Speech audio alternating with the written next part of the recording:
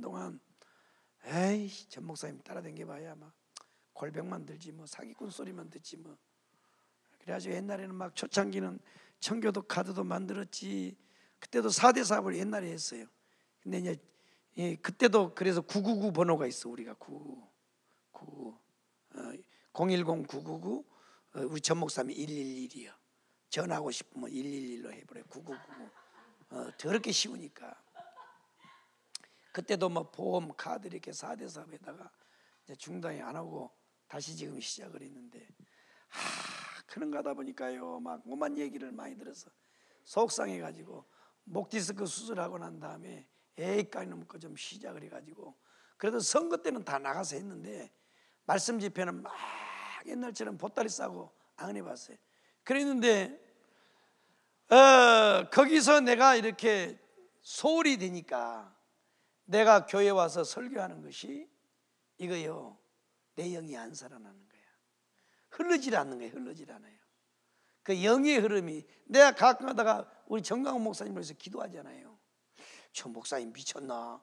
아 왜 자기 교회나 이래서 기도하지? 왜 전 목사님을 위해서 기도하지? 그럼으로 인해서 영의 흐름이에요. 내가 민수기를 말씀을 듣다가 이, 이 원리를 알고는요. 통걸 뻔해서 통걸 뻔해 맞다 이거다. 에? 그래서 내가 잠시 청교도도 안 가고 말이야. 조금 쉴 때가 있었는데 확실히 내가 교회에서 해보니까요. 내 영도 죽지만 성도들의 영도 안 살아나더라고. 이게 영의 흐름이에요, 영의 흐름. 그러니까 조영기 목사님 밑에 붙어 있는 사람은 조영기 목사님을 딱 바라보고 있을 때 흐르는 거예요. 예. 그래서 성도들도 마찬가지 성도들도 나는 이걸 경험해 봤어요. 목사님하고 잠깐 딱 이게 끊어져 보니까 확실히 안 되더라고. 청교도 말씀을 또 하기도 싫고 해봐야 뻑뻑해. 그러니까 안 하게 되는 거야. 그런데 이게 회복이 됐어요.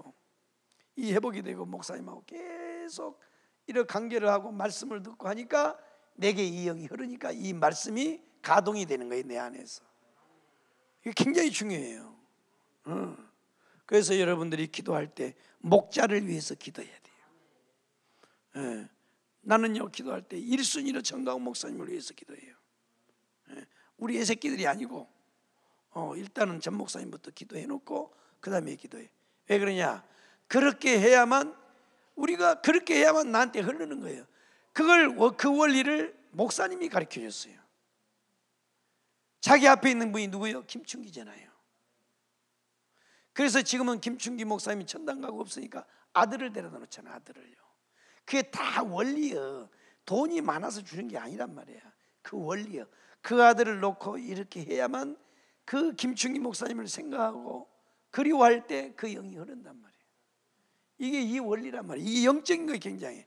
우리는요, 좀만 교회가 크면요, 자기 스승을 물어보래요. 이게 건방인 거네요. 영적인 건방이거든. 절대 그러면 안 돼요. 교회가 아무리 써. 그래서 어떤 제자들은 사실은 스승보다도 더 큰 교회를 하는 사람도 있어요. 그래도 스승이에요. 그 스승을 늘 앞두고 이렇게 목자를 앞두고 기도를 할 때 그 영이 나한테 흐른단 말이에요. 이해되셨어요? 음.